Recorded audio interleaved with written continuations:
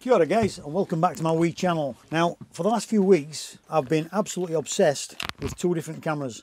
Both folders, one the Voigtlander Bessa 2 which is a 6x9 folder, 1940s love love love that camera. The thing is about that camera it's a little bit big and the controls are all sort of the opposite way around to what you're used to. And you've got to use that camera a lot to really get the best out of it. The other camera that i'm absolutely obsessed with is this little beauty. This is the zeiss ikonta m or mess Ikonta mouse Ikonta Icon to mess it's a 6x6 folder from the 1940s again. If you've seen my previous videos, you'll uh, you'll know how much I love this camera and more importantly, why I love it because it just produces some absolutely fantastic photographs. I'm trying to use this camera more and more to get the best out of it. What I'm struggling with slightly at the moment is the square format. I've never shot anything square format before other than this camera.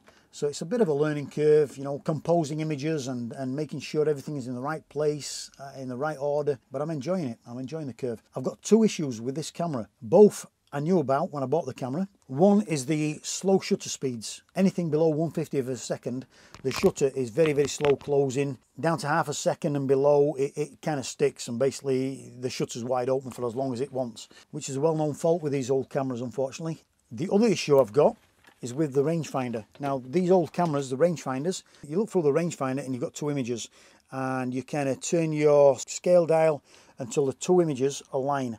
Once the two images align, you know you've got your focus perfect, you've set your range from your range dial onto your lens and away you go. Perfect.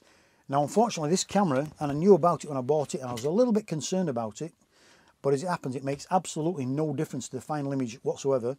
But it's just it just makes composing a little bit a little bit tricky. The images come together on the horizontal plane but like this they're offset slightly on the vertical plane.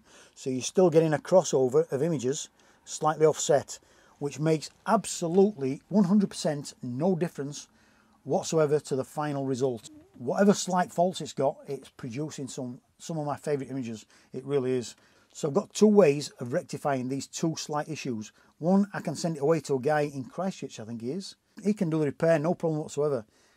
But it's going to take a while, maybe a long while because he's got such a backlog of work. I don't want to be without the camera for any long period of time. So I've got a cunning plan, or I had a cunning plan. I've actually enacted the cunning plan, which is to simply buy another Zeiss Ikonta M an exact same model. Look at that little bad boy. It arrived the other day. It needs a clean up. I'll put some Neat Foot oil on the casing, tidy it all up, tidy the bellows, give it a check out. I've put a film in here and I'm just going to run that film through it before I make a decision on what I'm going to do with this one because this one is beautiful. It works a treat, but it's got a few little niggles. I can live with them, but do I want to live with them? Do I need to live with them? So I may sell this camera to somebody who, who's going to know exactly what the issues are.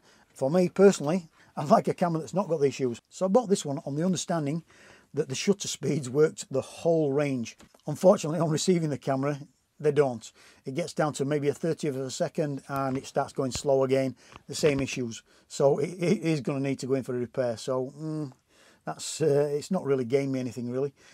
But the one thing it has got, the images when they come together in the rangefinder, they come together horizontally in line, no offset verticals. It makes no difference whatsoever to the final image, but to my eyes, I've got slightly dodgy eyes, my aging eyes, and it just makes life just that little bit easier to get a focus on this camera. All images you see on this video were shot with the original Zeiss Ikonta M.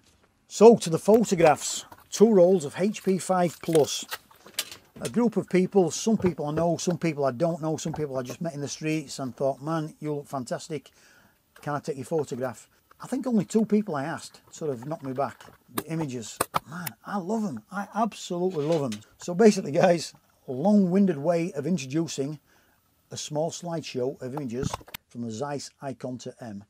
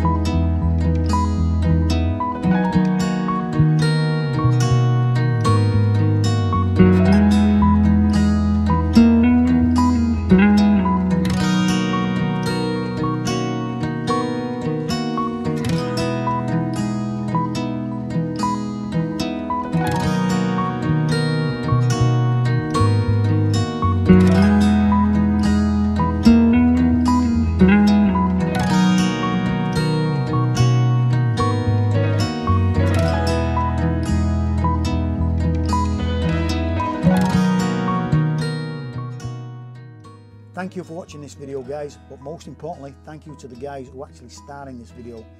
You guys make the video, you guys are fantastic. Ka kite anō, have a great weekend.